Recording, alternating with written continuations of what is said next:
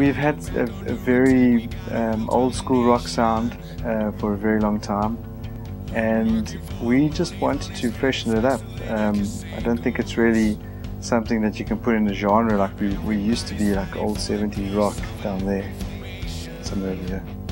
And, uh, and now we just open the box and now everything's open to everybody. You can do what you like. You don't have to be uh, you know, super 80s guitar solos or, you know, heavy rock or heavy metal.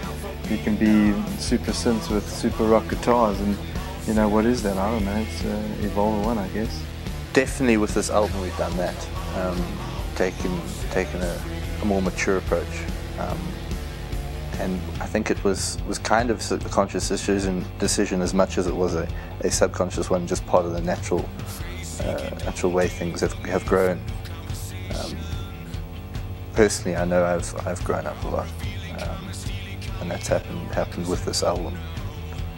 Uh, but as a band, we've, we've moved in a, in a real positive direction. We, we all very dedicated to this. We've, we're very stable in terms of our relationships with each other and understanding how we all fit into this and, and what we do. Um, we are still essentially a pop rock band, and uh, we and as a, therefore, you know, we appeal to a, a broad range of uh, you know, both um, race and age.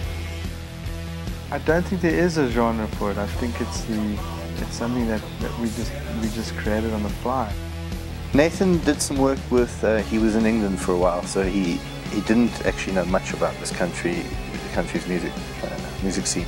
Uh, he was doing some work with Natasha Bedingfield and Daniel Bedingfield, um, and he had done some great stuff. He'd, he'd done a lot of pop work before and obviously had some success with him. He had another uh, number one song or top 10 song, top 20, whatever it was, in England with a, another pop group. So it was nice to bring that element as well into the into the rock um, and the more raw sounds of, of Evolver. You know, just uh, the difficulties that you have with, with writing with somebody that isn't in the band and coming and he's choosing songs that you think are good and you know, you know it is a difficult process for a band, especially for myself you know, what, what he brought to, to the project was a, another understanding outside of the band. And I think that's good too. When you are working on a project and you get a bit close to it, you can um, lose perspective. And it was nice to have someone, someone on the outside bring new, fresh ideas in uh, on some of the songs we were working on.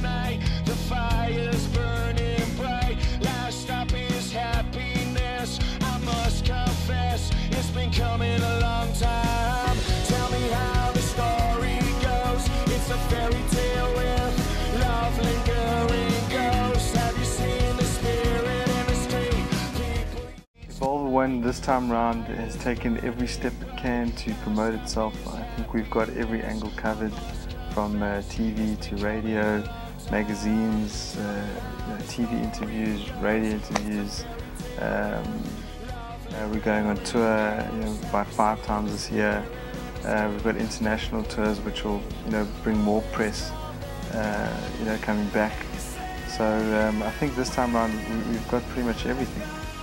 Well, we're very active online. Um, we, we, we use all the social networking tools available to us. We have a website, uh, uh, which is um, evolver1.co.za. Um, and you can sign up to the mailing list there uh, if you'd like to stay up to date with what we're doing. Um, there's also Facebook and MySpace and Twitter. We're on all of those. We're not just playing in a band and doing this for the music and fun and as much as we're doing it for that, we're also doing we've got something to say, you know, and, and we can say something. Uh, and understanding this platform that we have, we're trying to use it. So we've done a lot of work with, with charities on the AIDS side, uh, on the cancer side of things, and we're going to look to continue those as, as much as possible. Uh, we actually were very lucky enough to get booked in Mexico. Uh, in August, we uh, we got a, a, a magazine article uh, something like the U magazine over there, massive magazine, and uh, and we got an article and they called us Diamond Music. Uh, and so we got picked up by a promoter and we're going over for three shows in August and then uh, we'll just move up and do a, a North American tour, a USA tour and then come back to South Africa. Wherever we are in the world, we, we try to uh, we try our best to um, interact and stay in touch with our fans. Even though we're going over internationally and, and trying to promote Evolver One internationally, we'll always regard South Africa as our home. Uh, you know, we've got a lot of fans here and uh, we'll never leave them. I actually do think this will be our home no matter what. Also, if you've got a video, if you've filmed a video at one of our shows or uh, or you've had something interesting signed from one of the band members, or we'd love you to take a picture of it and post it up on our wall and or, or email it to us and we'll make sure that it gets loaded up. Personally, I feel that this is Evolver's debut album, and I think it's great. Evolver One, we've got a new, we've got new sound. We've worked with the producer. It's a brand new, fresh product from the band, and I think Evolver One, this is definitely for me a debut of the band.